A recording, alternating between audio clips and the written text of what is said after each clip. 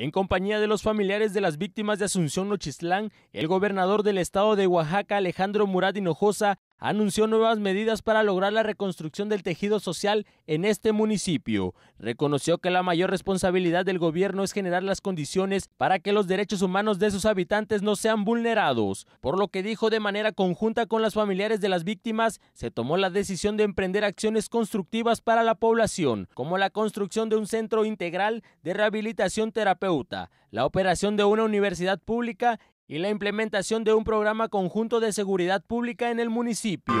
El gobierno del Estado que represento, de manera conjunta y directa con las víctimas y lesionados del 19 de junio, hemos decidido emprender una serie de acciones constructivas. Oaxaca, el día de hoy anuncio, primero, la construcción de un centro integral de rehabilitación terapéutica.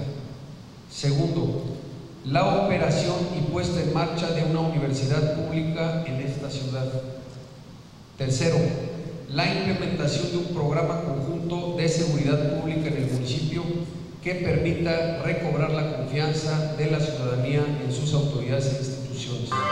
Murad Hinojosa resaltó que su gobierno tiene claro que el respeto y la garantía de los derechos humanos son una obligación para actuar en todo momento. Expresó su solidaridad con las familias de los fallecidos y heridos durante los hechos violentos del fallido desalojo del 19 de junio. El gobernador del estado aprovechó el momento para condenar el uso de la violencia, enfatizando estar comprometido con Asunción Nochistlán y las comunidades aledañas. La mayor responsabilidad de todo gobierno que se precie de ser llamado democrático es generar las condiciones para que los derechos humanos de sus habitantes no sean vulnerados.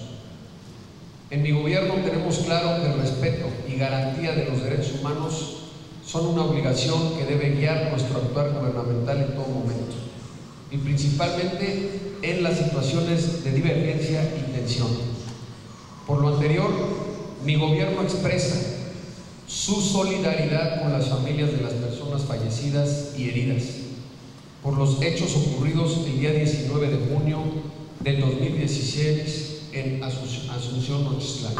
Con imágenes de Manuel Gris para MBM Televisión, Rafael Ventura.